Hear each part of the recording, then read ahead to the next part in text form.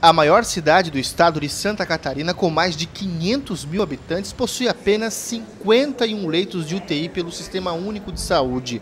O ideal é um para cada 3 mil habitantes, ou seja, Joinville precisaria de 170 vagas. Ontem, em dois hospitais públicos da cidade, todas as vagas de UTI para adultos estavam preenchidas. No Hospital Regional Hans-Dieter Schmidt, o problema é a falta de médicos. Já o São José enfrenta problema por causa do atraso nas obras de ampliação, o que impede a criação de mais 30 leitos.